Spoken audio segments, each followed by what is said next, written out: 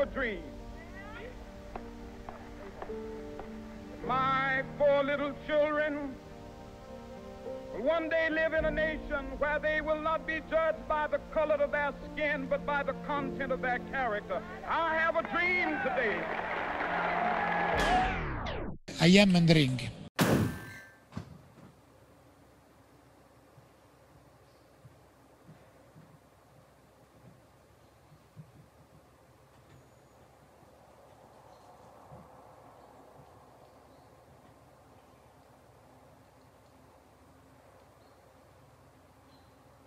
Italia sempre in recessione, l'Istat ha rivisto al ribasso il dato sul prodotto interno lordo relativo al secondo trimestre. È vero, è stato inanellato l'ottavo trimestre consecutivo in recessione per l'Italia. L'Italia è in recessione tecnica. Non sarà una recessione, ma molti dicono sarà una depressione. Quest'ultimo è il dato peggiore dal quarto trimestre.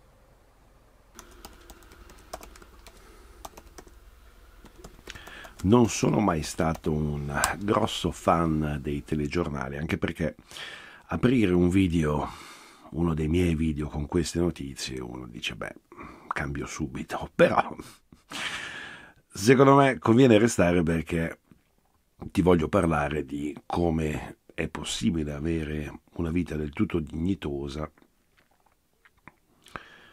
facendo determinate scelte, chiaramente quelle che abbiamo fatto noi, che ho il piacere di condividere su questo canale.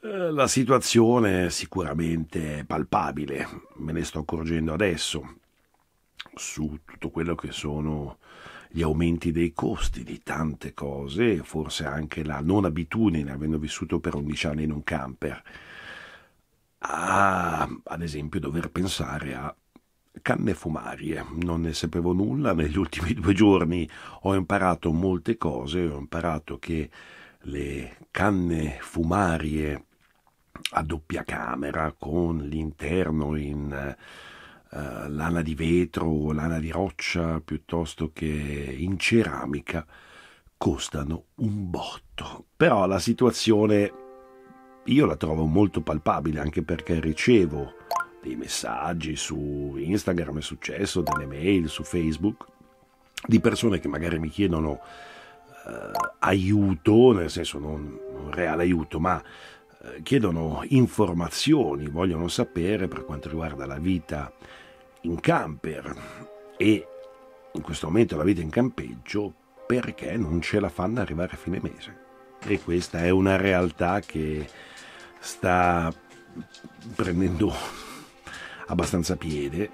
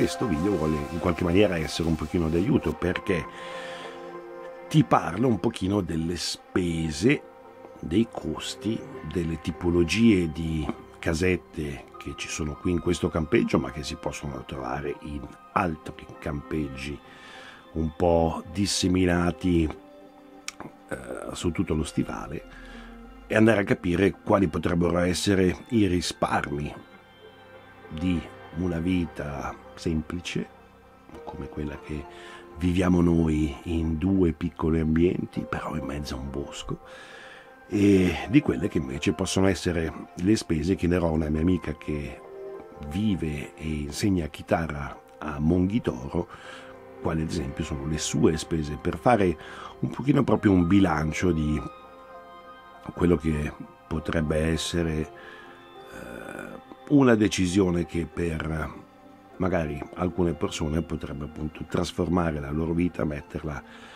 eh, sotto una prospettiva migliore se vuoi.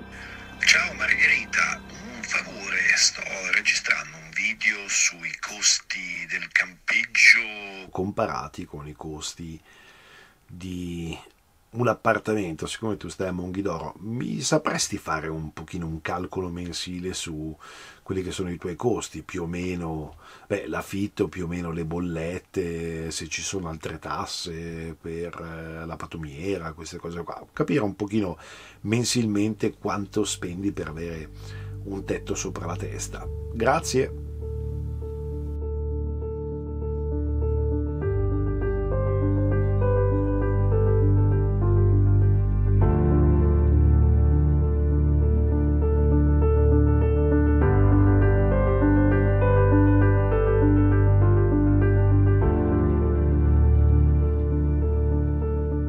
Direi che prima di avventurarci in tutte queste informazioni che vorrei darti in questo video sulla vita in campeggio, sui costi e tutto quello che è la nostra esperienza, di partire dall'inizio, ovvero le tipologie di abitazioni che si possono trovare normalmente nei campeggi in Italia, nei campeggi con anche gli stanziali, i costi per primis quanto mi costa avere un tetto sopra la testa all'interno di un campeggio e andiamo a vedere le tre tipologie, quindi le differenze, i pro e i contro.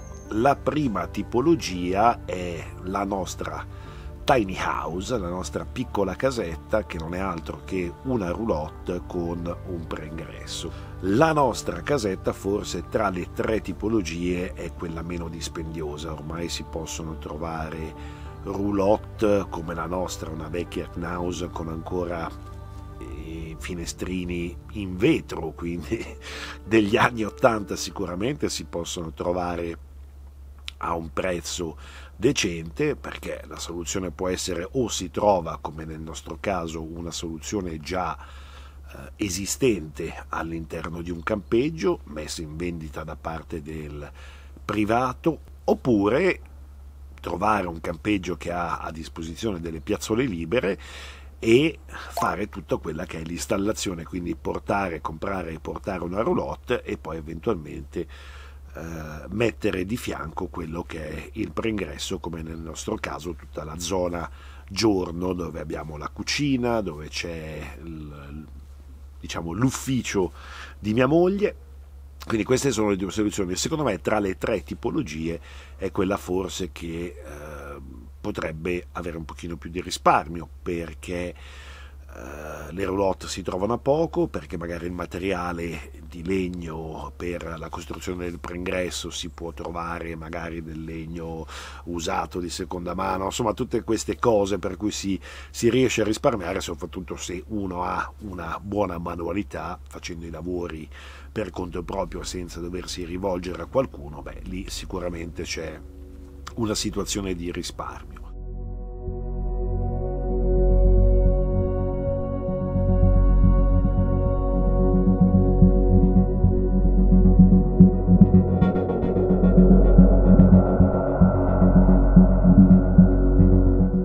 Varia da un minimo di direi quest'anno 1400, 1400 1500 euro a un massimo di 1650 di affitto dello spazio sostanzialmente. Questo è. Eh, non ci sono proprietà del campeggio che vengano affittate quindi dopo le spese sono tutte legate a cosa voglio mettere nello spazio che, che affitto ecco. Un pezzettino di terra sostanzialmente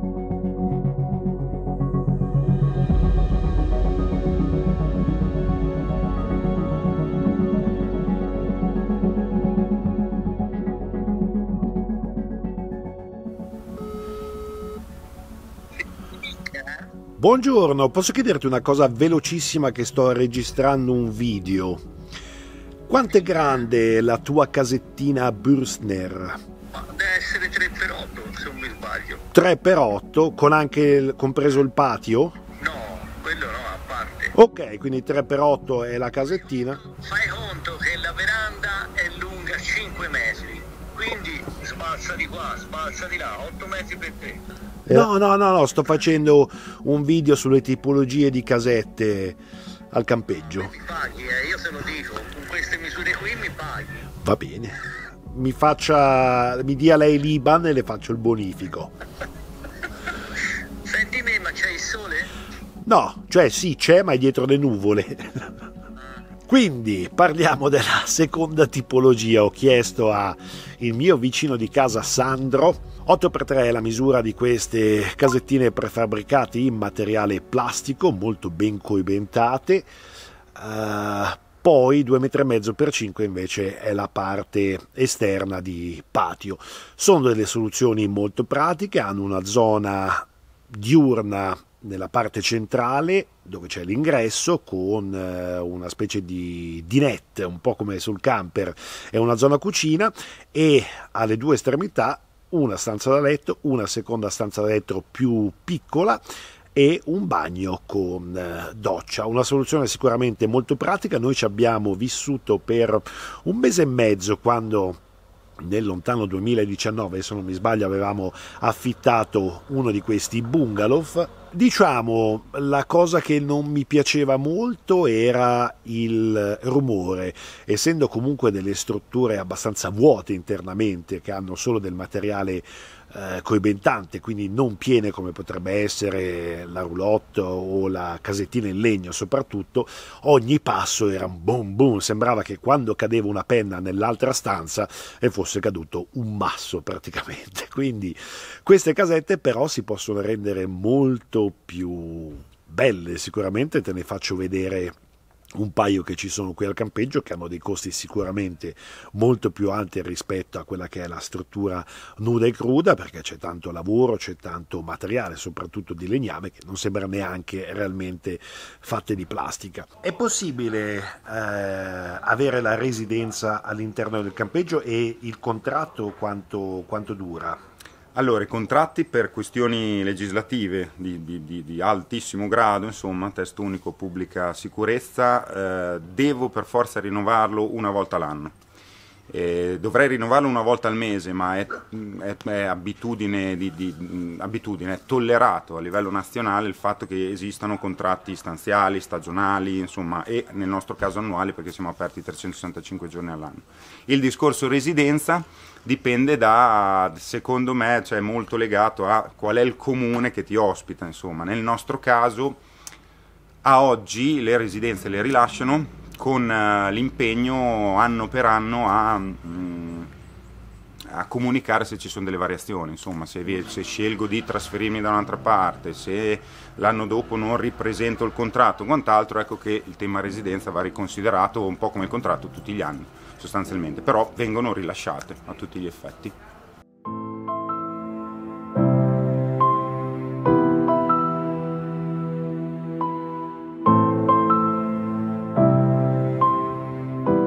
Terza e ultima categoria delle tiny house, delle casette che abbiamo qua in campeggio, ma che si trovano comunque anche in altri campeggi, è il prefabbricato in legno, come quella che leggermente intravedi sfocata alle mie spalle. Una soluzione sicuramente forse la più costosa rispetto alle prime due, con anche una parte forse di comfort maggiore, parliamo di superfici che vanno dai 35 fino ai 40 metri quadrati, con un patio esterno, una sistemazione interna molto semplice con una zona living, una camera da letto e un bagno con doccia e ammenicoli vari. Pronto? Buongiorno, scusa disturbo. Figurati. Federica adesso ha detto che dovrebbe essere circa una trentina di metri. Una trentina di metri quadrati. Sì, più o meno, eh, adesso lì che ti vorrei. Sì, è un 6x5, una cosa del genere. Sì. Sì, mi sembra di sì, sì, più o meno, ecco, sì. Va bene che sto raccontando. Hai già fatto il video oppure... Ah, lo stavo registrando adesso e ci, ci verrai anche tu nel video con questa telefonata.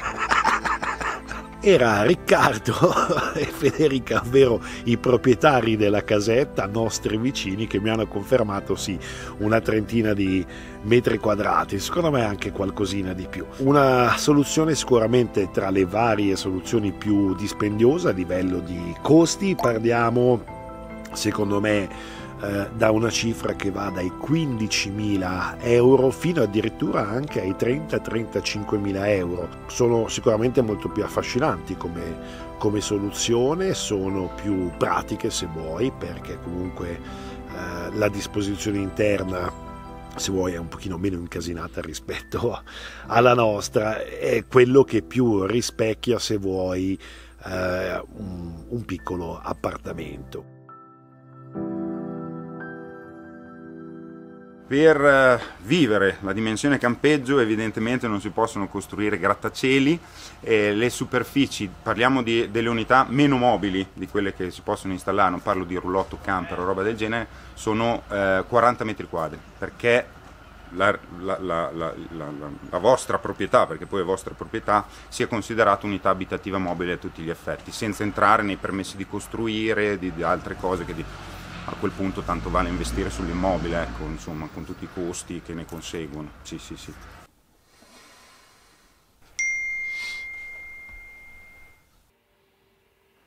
Ciao Armando, sì sì certo non, non c'è problema. E se appunto io vivo in affitto in un appartamento a Monghidoro da settembre dell'anno scorso e spendo al mese 350 euro per quanto riguarda le bollette eh, di energia, mensilmente eh, spendo intorno alla quarantina di euro, non di più. Il gas dipende dalla stagione, quest'estate sono andata molto bene che ho speso dai 16 ai 25 euro, l'ultima bolletta che mi è arrivata di ottobre-novembre eh, ho pagato circa 160 euro, ovviamente comprende l'IVA e tutte le spese annesse. E, um, poi l'acqua invece è compresa nelle spese condominiali, l'anno scorso ho speso più di 300 euro, circa, se non ricordo male 320 euro circa, e la Tare anche lì siamo su un centinaio abbondante, quindi diciamo che queste sono tutte le mie spese per avere un tetto sopra la testa. Beh, alla fine del video molto interessante avere questa comparazione.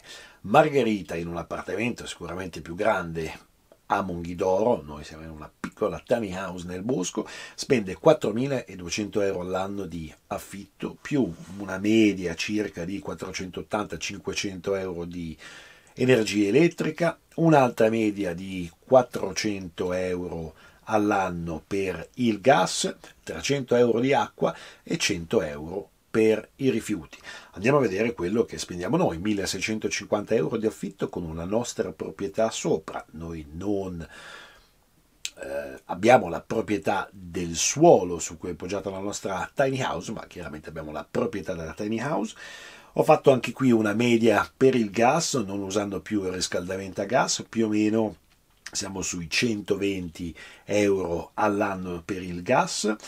L'elettricità invece qui abbiamo dei consumi molto più alti, ho calcolato più o meno 1000 euro per quanto riguarda tutto l'anno, dove il periodo invernale è più caro visto che abbiamo i radiatori elettrici, il periodo estivo meno caro perché comunque i consumi non sono così alti, due computer, un paio di eh, luci a LED, un frigorifero, contando anche di in futuro spero molto presto di implementare un sistema fotovoltaico, quindi 1000 euro all'anno, non abbiamo una tassa per i rifiuti e per quanto riguarda l'acqua paghiamo 30 euro forfettario in un anno, quindi totale più o meno a spanne 2810 contro 5480. Non voglio stare qui a convincerti ad andare a vivere un campeggio. Ah, disclaimer, tra l'altro, non chiamate tutti il camping La Martina perché in questo momento non c'è nessuna persona libera, non c'è nessuna casetta tiny house a disposizione. Molto probabilmente l'anno prossimo, il 2024, ci sarà del movimento e per il momento siamo completamente full. Spero che questo video ti sia piaciuto, ti sia stato d'aiuto magari a capire quelle che sono appunto le spese di un appartamento contro le spese che abbiamo noi in questo posto che noi giudichiamo un piccolo paradiso sui colli toscomigliani.